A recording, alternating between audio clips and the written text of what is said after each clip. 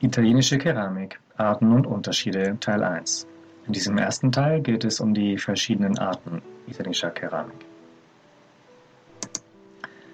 Über Lars Klum Mein Name ist Lars Klum, ich bin Deutscher und lebe seit mehr als 15 Jahren in Italien. Ich komme ursprünglich aus der Produktentwicklung und aus dem Einzelhandel für Bekleidungs- und Textilfirmen des mittleren, des gehobenen und des Luxusgenres. Seit mehr als fünf Jahren beschäftige ich mich mit dem Bereich Handwerk und habe es mir zur Aufgabe gemacht, italienische Handwerker zu unterstützen. Dafür schreibe ich auf der Webseite italienischekeramikonline.net und betreibe einen virtuellen Manufakturenladen bei botegecontemporanee.com, in dem gute Waren italienischer Handwerker und Manufakturen aus den Bereichen Wohn- und Modeaccessoires angeboten werden. Schaut doch mal rein.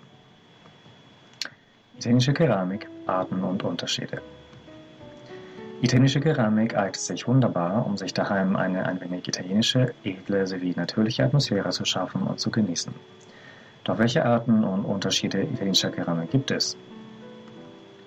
Eine Orientierungshilfe bietet eine Aufklärung einiger Arten italienischer Keramik sowie einen Überblick über einige regionale Unterschiede italienischer Keramik.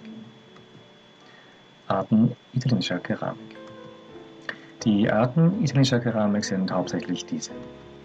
La Maiolica. Die italienischen Keramiken, denen man als Italienreisender in Urlaubsorten als erstes begegnet, sind oft die farbig bemalten Gefäße. Diese werden sowohl zum Essen als auch zum Trinken benutzt. Bei diesen handelt es sich meist um die typische Maiolica, auf Italienisch Maiolica. Eine typische Maiolica entsteht, indem ein Gegenstand aus unbehandeltem Ton, von italienischen Keramikern Biscotto genannt, meist mit einer weißen Glasur überzogen und dann bemalt wird. Im Ofen verschmelzen dann die Glasur und die Farben. Die Farben bekommen erst nach dem Brand ihre Leuchtkraft. Viele Handwerker versehen die Artikel nachträglich mit einer feinen Glasschicht. Diese nennt man Kristalline. Diese sorgt bei dieser Art technischer Keramik sowohl für mehr Glanz und Glätte und schützt die Bemalung.